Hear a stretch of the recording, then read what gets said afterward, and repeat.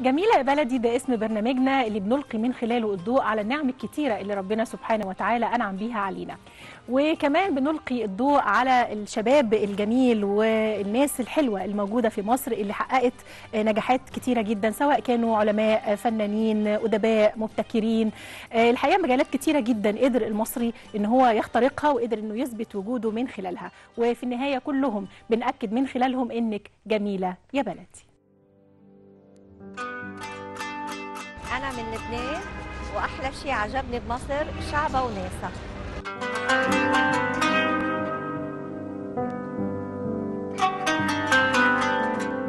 كفاية إن مصر فيها حضارة 7000 سنة.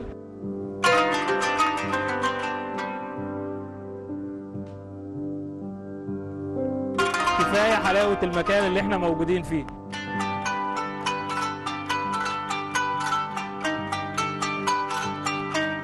أنا عن نفسي شايف إن الفن أحلى حاجة في مصر.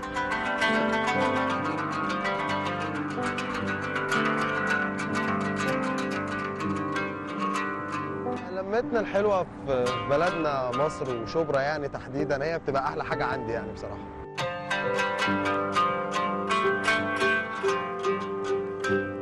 بلدنا حلوة مفيش كلام بس نحبها عشان تحبنا.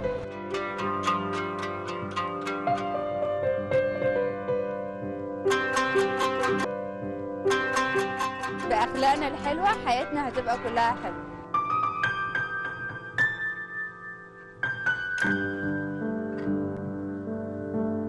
نفسي إن إحنا نتحد مع بعض كده ونرجع زي أيام زمان يد واحدة ون- و- وما يكونش في اختلاف في البلد. أحسن بلد في العالم كله. مصر بلدنا. نخاف عليها ونخاف على أرضها. مصر هي بلدنا كلنا وطننا كلنا.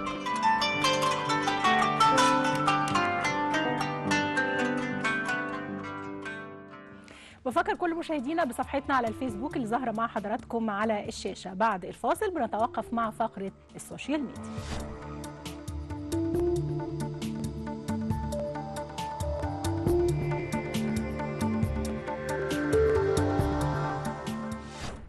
أول خبر معانا من خلال فقرة ال social media هو خبر خاص بفنانة فرنسية. الحقيقة مبدعة للغاية لأنها استخدمت الكرتون في إن هي تقدم لنا مجموعة من التصميمات الرائعة الجمال زي ما حضراتكم شايفين مجموعة من التصميمات اللي بنقف قدامها منبهرين وده فعلا كان معظم آه، التعليقات اللي جت من خلال طبعا رواد مواقع التواصل الاجتماعي على هذا الإبداع الفني.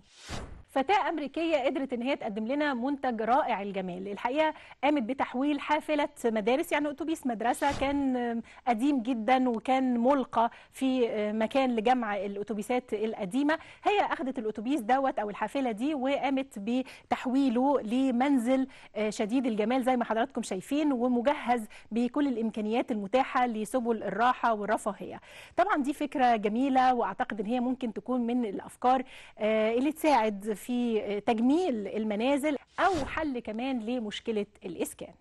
ونروح لليابان والخبر الثالث خاص بفنان ياباني. آه، لما هتشوفوا آه، صوره اللي ظاهره معانا على الشاشة هتعرفوا قد إيه هو مبدع وفنان متميز للغاية. كلنا بنتخيل إن دي صور فوتوغرافية لكن الحقيقة إن هي مجموعة من الرسومات الزيتية اللي أبدع من خلالها هذا الفنان واللي كل رواد مواقع التواصل الاجتماعي الحقيقة يعني انبهروا واندهشوا من هذه الجودة والتقنية العالية اللي قدم بيها هذا الفنان الياباني هذه اللوحات. يعني في مواهب الحقيقة فعلا الواحد بيقف قدامها منبهر وبنتمنى إنه هذه المواهب تكون كتيرة جدا وخصوصا في بلدنا. ووصلنا مع كل مشاهدينا لفقرة الفيديو القصير والفيديو اللي هنشوفه معاكم النهاردة لطفلين عمرهم لم يتعدى العاشرة.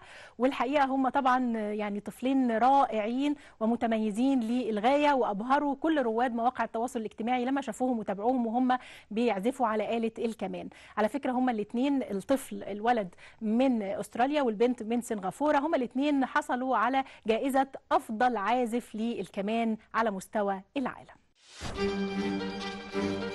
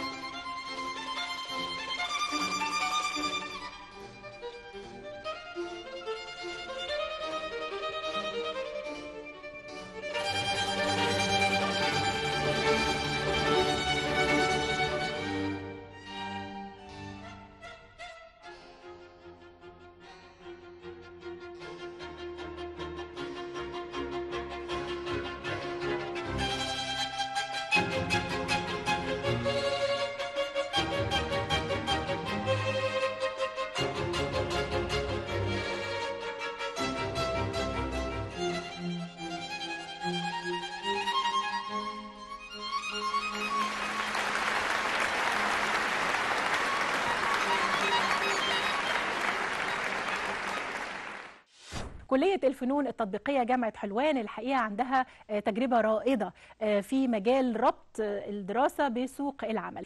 على مدار أربع سنوات قامت بتنسيق ملتقى التوظيف للشباب والحقيقة كان في فرص كتيرة جدا تم خلقها وتقديمها لشباب كلية الفنون التطبيقية جامعة حلوان. بعد الفاصل نتعرف على تفاصيل هذا الملتقى.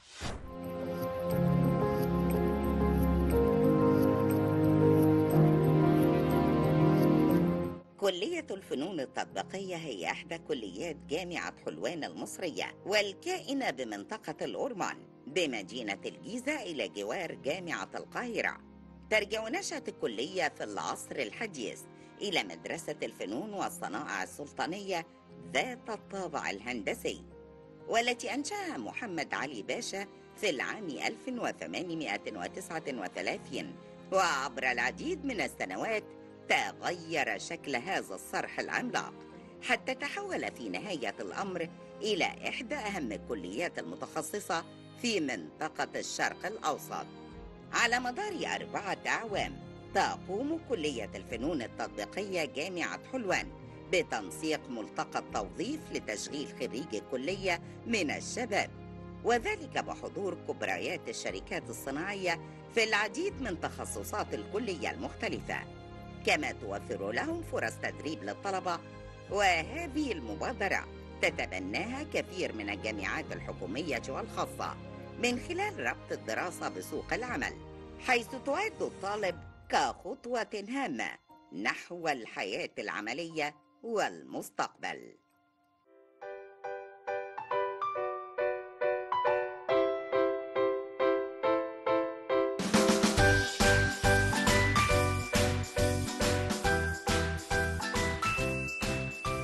وعن الملتقى وإزاي ممكن نستفيد منه خلال السنوات القادمة بشكل أفضل كمان. هيكون ضيوفنا اللي هيقدموا لنا معلومات في هذا الموضوع. الأستاذة الدكتورة علا علي هاشم. هي وكيل كلية الفنون التطبيقية للدراسات العليا والبحوث ورئيس قسم التصميم الداخلي والاثاث بكلية الفنون التطبيقية جامعة حلوان. مرحبا بحضرتك معانا يا دكتور. أهلا بيكي. كمان معانا دكتور أحمد مصطفى رموزي مدرس بقسم التصميم الصناعي ورئيس وحدة الترويج والتواصل بمكتب العلاقات الدولية بجامعة حلوان. مرحبا بحضرتك معانا. أهلا وسهلا بحضرتك. طيب دكتوره علا خلينا بس في البداية يعني نتوقف عند هذا الملتقى ملتقى التوظيف الخاص بالشباب. آه أنتوا بقالكم أربع دورات لغاية دلوقتي فناخد فكرة إيه اللي تم وإيه الفكرة جت إزاي وإيه اللي حصل خلال الأربع سنوات دي؟ هو من واقع ال- الخريجين بتوعنا طبعا آه، بيواجهوا سوق العمل. فطبعا سوق العمل ده بيبقى محتاج مهارات معينة آه، محتاج إن الخريج يبقى على تواصل. مش بس لما يتخرج لا أثناء كمان ما بيكون آه، في الفرق المختلفة. آه، لقينا إن آه، أصحاب الأعمال بره لازم يكون لهم بصمة معانا في المناهج الدراسية اللي إحنا بنقدمها للطلاب لأن ده بي يعني إحنا كليتنا أو الجامعة عموما جامعة حلوان بتعتبر من الجامعات اللي يعني تعتبر المهنية فيها أساس كل شيء. الخريج بتاعنا بيبقى عنده قدرة على إنه يبني آه، مشروع ويديره آه، ويتعامل مع سوق العمل آه، بدون ما يحتاج دورات تدريبية علشان تؤهله لذلك آه هو بيتخرج أصلا أنتوا حاسبين الحسابات دي من عنده قبل كفاءة التخرج على يعني. كده آه. وبالتالي هي مصر محتاجة كده محتاجة طبعاً. إن أنا أخرج آه، يعني مش هقول رجل أعمال بس قادر على إنه يكون آه، قائد لمشروع آه، ايا كان في. أي مجال يعني يعني أنتوا الموضوع ده بتبتدوه معاه من وهو في سنة أولى مش بتستنوا آه حاليا سنة دلوقتي يعني طبعا إحنا يمكن آه، آه، كل سنة عن سنة بيحصل تطوير أيوه وبالتالي لقينا إن لما بنستنى عليه لغاية لما بيوصل لغاية بكالوريوس ويبتدي ننبهه لقصة سوق العمل لا الموضوع بيبقى مش مش مجدي قد ما أنا أبتدي مع مش بس أنبهه لسوق العمل وإحنا كان في تدريب صيفي. بياخدوا أي آه. طالب بس لقينا إن لا رجال الأعمال والصناعة لما بيدخلوا معانا ويحصل ال connections أكتر بيبقى ادينا impression إزاي إن أنا أعد الطالب واديله المهارات الكافية إن هو من, من أول سنة أولى يبتدي يتدرج آه، باحتكاكه بسوق العمل يعني إحنا حتى عاملين schedule بيننا وبينهم حاليا دلوقتي آه، بالذات غرفة صناعة الأخشاب باتحاد الصناعة اديناهم كل أسماء الطلاب بتوعنا. في كل الفرق وابتدينا نضع معاهم إيه المهارات اللي أنا عايزاها في كل مستوى عشان الطالب طبعا بتاع سنة أولى مهاراته تختلف عن طبعاً، آه. وكلها مترتبة على بعضها. آه. فبالتالي بيمشي step by step مع ال- ال- رجال الصناعة أو مع المصانع اللي بيتدرب فيها. آه، المصنع هيستفيد لأنه هيبتدي يديله المهارة الملائمة ويبتدي يحط عينه على الطالب المتميز يلقطوا بقى ويصنفه أول لما يتخرج على طول. ويصنفهم كمان. يعني مش كل الطلبة عندي designer هيتخرجوا يبقى designer ممكن طالب يبقى مصمم يعني designer ليه في في قصة ال creative واحد تاني بيكون قادر على إنه يدير مصنع. واحد تالت في ال marketing كويس. النماذج اللي ظهرت أو اللي برزت في في الموضوع دوت حسيتوها لمستوها تحديدا برزوا فين؟ والى أي مدى كان في تعاون فعلا من الشركات والمصانع الأخرى؟ يعني طبعا بدون ذكر أسامي. هو زي ما تفضلت الدكتورة علا وشرحت إحنا بيخرج من عندنا مصمم. ال designer ده بيكون ليه contribution مساهمة في التصميم في وضع تصميمات للصناعة أو في الإنتاج نفسه في المصانع في مراقبة الجودة في كذا مجال كلها مرتبطة بعملية التصميم والإنتاج. ال cycle بتاعت الجامعة والمصنع ال cycle بتكمل بعضها. إحنا بنعمل ال knowledge في الجامعة عشان ياخدها المصنع ينتج بيها يجيب فلوس يكسب ويرجع تاني يحط فلوس في الجامعة يساعد الجامعة والجامعة تطلع له مخرج. فالسايكل دي لازم تبقى مقفولة دايما عشان تساعد بعضها. دايرة ال- بتلف مع بالظبط بالظبط. بس السنة أنتوا دي هنا أنتوا اللي بتسعوا للشركات والمصانع ولا هي اللي بتيجي تطلب آه، آه، إحنا بنسعى وهما بيسعوا. إحنا بنسعى عشان نوفر للخريج فرص وبيئات تساعده في وقت الدراسة وفي نفس الوقت فرص للتدريب وبعد كده فرص للعمل. والصناعة بتسعى إن هي تحصل على خريج جيد يقدر يساعدها في عملية التصميم والإنتاج بتاعتها عشان يقدر يطلع منتج متميز ينافس فيه في الأسواق. فأنا عندي خريجين كتيرة من الناس أثبتوا تواجدهم وبنعمل مؤتمرات علمية للأقسام كل سنة. ده بي بيخدم في إن أنا بدعو الشركات في المؤتمرات العلمية بتاعت الأقسام. فالشركة بتيجي تشوفني طول السنة فلما باجي أقول له أنا عندي ملتقى الخريجين هو بيجي بسرعة ويحجز لنفسه البوست بتاعه في في الكلية عندنا عشان يقعد وياخد Yeah. الخريجين يملوا استمارات معاه يقعدوا يشوفهم. ولسه يعني بالصدفة البحتة يعني أنا لسه باعت أربع أسماء امبارح للشركة. آه، من كام شهر فات في ناس آه، يعني ال- ال- الصناعة بتتواصل معانا تقول لنا رشحوا ناس. وإحنا بنرشح وبصراحه الخريجين بتوعنا بيرفعوا راسنا. يعني أنا دايما ما فيش خريج ببعته مكان يعني لو بعت عدد لازم بيتاخد منهم حد ولو بعت واحد لازم بيتاخد. فهي ميزة ان الفنون التطبيقية في مصر يعني هي من اسمها الفنون التطبيقية. إحنا بنعمل المنتج ال- ال- الاستخدامي اليومي اللي حضرتك بتستخدميه من الإبرة للصاروخ.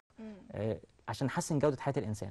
فما فيش حاجة الإنسان بيتعامل معاها كل يوم ما بتتعملش في الفنون التطبيقية. إحنا محتاجين نقف عند الجزئية دي فعلا لأنه برضو لازال في ناس ممكن تبقى مش مستوعبة يعني إيه كلمة فنون تطبيقية أو إيه إيه اللي بيشمله هذا التخصص. بس هناخد فاصل مع حضراتكم. إحنا سألنا الطلبة نفسهم داخل ال- الكلية يعني إيه رؤيتهم لهذا الملتقى وإزاي شايفين إن هم يعني اللي قبليهم اللي سبقوهم استفادوا وهم ممكن يستفيدوا واللي جاي بعديهم ممكن يستفيد. آه، نشوف آرائهم ونسمعهم ونرجع نكمل مع حضراتكم.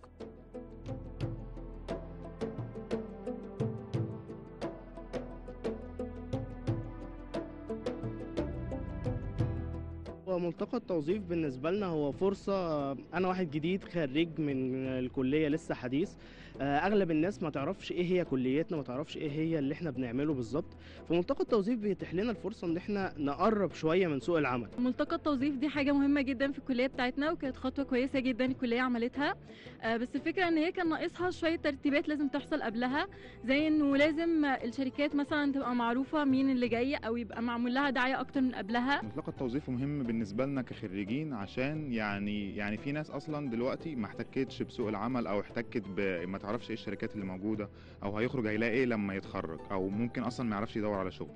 فالملتقى التوظيفي مهم بالنسبة لنا ان إحنا نتحتك بالشركات أو الشركات تعرف الطالب ده بيعمل إيه أو تيجي تع- تعرف نبذة عن الطالب. ده شيء مهم طبعا لكل طالب ان هو يبدأ يتقدم له وظائف وفرص من هو في الجامعة عشان يعني يتيح ليه حاجة كويسة ان هو يقدر يشتغل فيها في مجاله اللي محدش عارفه كتير. ملتقى التوظيف لما دخل هنا الجامعة آه، اتاح لنا ان الناس تعرف تسمع عننا. بقى مجهود الطالب ان هو ي market لنفسه بره بقى أقل بكتير ان أنا خلاص آه، شركة مثلا سي إكس جت هنا شافت شغلي عجبته شافت ان أنا موهبة فهي هتقدم لي الفرصة وهتقدم لي ال job offer على حسب مشروع التخرج أو whatever ال design اللي عجبهم. وساعتها ده هي ده هي هيساعدني بكتير وهيسهل عليا عملية ان أنا آه، بدل ما إن أنا ب search على ال job هي اللي بتجيلي. وفي نفس الوقت بي- بيعملوا scout بيشوفوا فعلا المواهب اللي تستحق الت- التبني وهكذا وبيطوروا من الناس.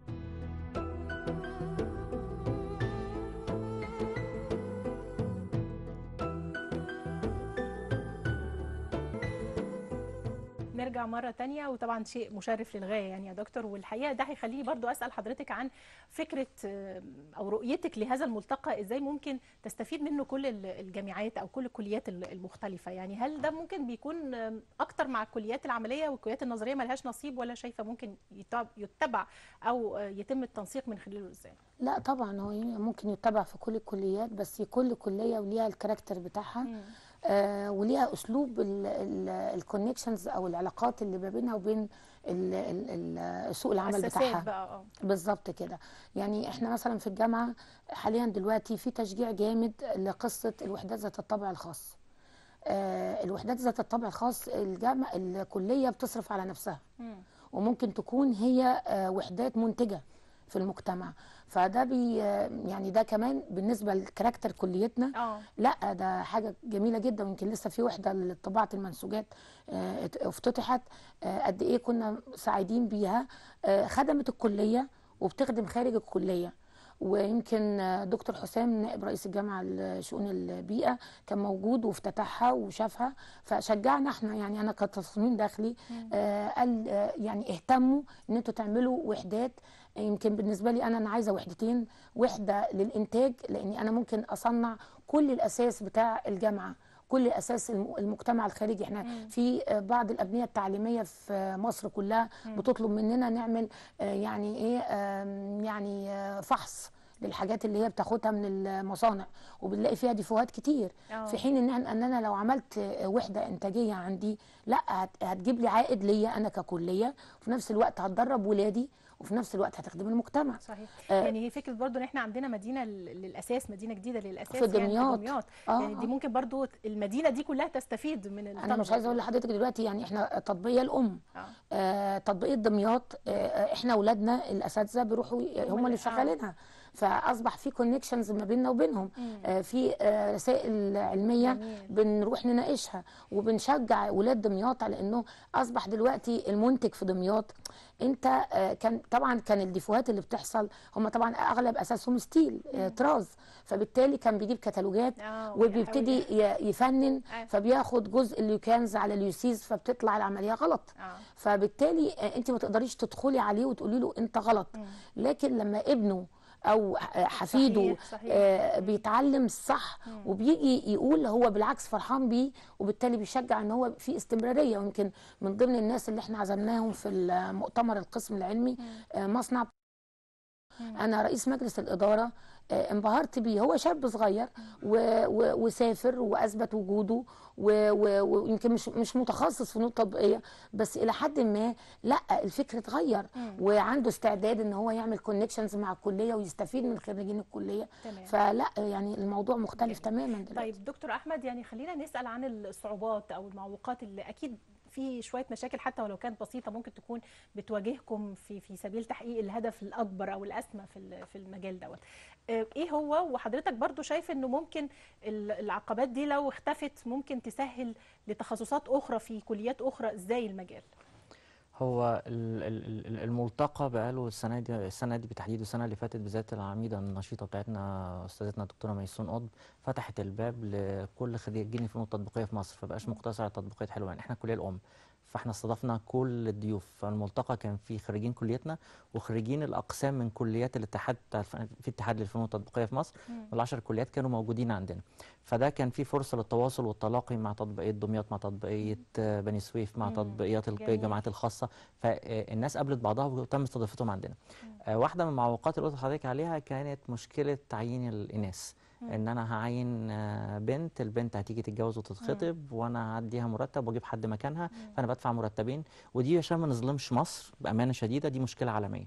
آه، بتحصل في أوروبا بتحصل بره والفكر ده موجود. إحنا بنقدر نصرح بيه هنا بره ما بيصرحش بيه لظروف تانية عشان القانون بيجرمه. والقانون هنا دلوقتي ماشي في الاتجاه إن هو ما يبقاش فيه تفرقة بين الاثنين وإحنا بننادي بالموضوع ده في مؤتمراتنا العلمية. دايما بندي فرصة للبنات. وبنجيب النماذج الناجحة برضه في المجتمع اللي ماسكين فعلا شغل وماشيينه من البنات عشان نعرف المصانع التانية اللي لسه عندها الفكر تمام. مشكلة فدي مشكلة من المشاكل بس إيه هتاخد وقتها زي ما قلت أيوة. لحضرتك لغاية ما هو يشوف عشان أنا قلت لهم السنة دي يعني في شركة من الشركات قلت له خد حد من وتالتة هيتأكدوا. وأنا باكد لك إن أنت في رابعة هتعينه أوتوماتيك لأن طيب أنت إيه هتثق فيه مشاكل تانية ال- المشكلة الثانية مقاومة آه، التغيير بس بصورة تانية أنا دلوقتي عندي business وشغال بيه بقالي فترات طويلة السوق متغير دلوقتي نتيجة التكنولوجيا. كل يوم الصبح في حاجة جديدة في ال technology دي على طول ليها آه يعني آثار جانبية سريعة جدا. على عمليه التصميم التصميم والمنتج والإنتاج وكل حاجة والأسعار في العالم وكل حاجة. مم. فالشركة اللي شغالة بنفس الفكر هذا ما وجدنا عليه آباؤنا وإحنا كنا شغالين بيه وكويس وماشيين وبنكسب هي بتكسب دلوقتي. بعد سنتين مش هتكسب بعد خمس سنين هتختفي. فدول عندهم مشكلة. فما أجي أقول له خد خريج يقول لي لا أنا عندي آه، تصميمات شغال بيها بقالي لا أنت محتاج ديزاينر يقعد معاك يعيد صياغة التصميمات دي بفكر حديث. ففي شركات ما زالت منغلقة على نفسها مم. بتنزل وحضرتك أكيد بتشوفي منتجات ما زالت موجودة في السوق بقى لها 10 و15 سنة ما بتتغيرش لمجرد إن هي بتبيع عشان فيسبوك. بس مع الوقت الموضوع ده هيتغير تماما. الشركات دي مش مش مش يعني إذا إحنا برضو الحمد لله إن حتى مشاكلنا مشاكل ممكن محتاجة شوية عايزة وقت ووعي. آه. ووعي آه، وقت فكر ووعي. ووعي بالظبط. فإحنا بنحاول نابروتش الناس دي وبنوصل لهم بعضهم بيستجيب بعضهم بيقاوم. بس يعني في في في, في لا مفر من من التغيير. التغيير. أنا بشكركم شكرا جزيلا وسعيدة جدا بهذه التجربة شكرا المتميزة. وإن شاء الله مزيد من النجاح ومزيد من التوفيق لحضراتكم ولكل الطلبة والطالبات عندكم. شكرا ليكي شكرا لاستضافتنا شكرا بشكر كل مشاهدينا على المتابعة ونتمنى إن إحنا نشوف يعني نماذج كتير جميلة زي طلبة كلية الفنون التطبيقية جامعة حلوان. نتمنى إنه الكليات كلها والجامعات كلها تهتم بفكرة ربط الدراسة بسوق العمل ونتمنى على الجانب الآخر كمان إنه الشركات والمصانع وأي مؤسسات ممكن تفتح أبوابها للطلبة سواء للتدريب أو للتعيين لخلق فرص عمل. آه، نتمنى إن كل ده يحصل وبالتأكيد آه، ده هيخلينا نأكد دايما إن الجميلة يا بلد